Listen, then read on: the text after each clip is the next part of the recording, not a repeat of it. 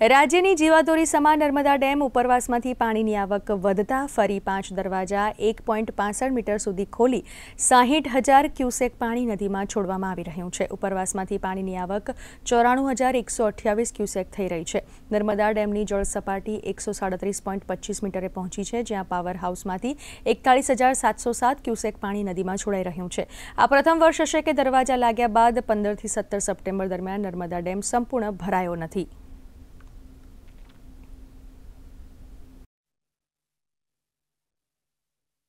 તો આ વર્ષે સત્તર સપ્ટેમ્બર એટલે કે આજે પ્રધાનમંત્રીના જન્મદિવસ નિમિત્તે એકસો આઠ, આડત્રીસ પોઈન્ટ અડસઠ મીટર સુધી નર્મદા ડેમ ભરવામાં નથી આવ્યો અને અત્યારે એકસો સાડત્રીસ પોઈન્ટ પચીસ મીટરે નર્મદા ડેમ પહોંચ્યો છે. એટલે આમ તો ઉપરવાસમાંથી પાણીની આવક થવાના કારણે એક મહિનાથી નર્મદા ડેમના દરવાજા ખોલી અને નર્મદા નદીમાં પાણી છોડવામાં આવ્યું છે. એટલે એનસીએ દ્વારા આ વર્ષે નર્મદા નદીમાં કોઈ પૂરની પરિસ્થિતિ ના સર્જાય તે માટે સુચારુ આયોજન કરી અને નર્મદા ડેમના દરવાજા ખોલીને પાણી છોડવામાં આવી રહ્યું છે. વિશાલ પાઠક, દૂરદર્શન સમાચાર, નર્મદા.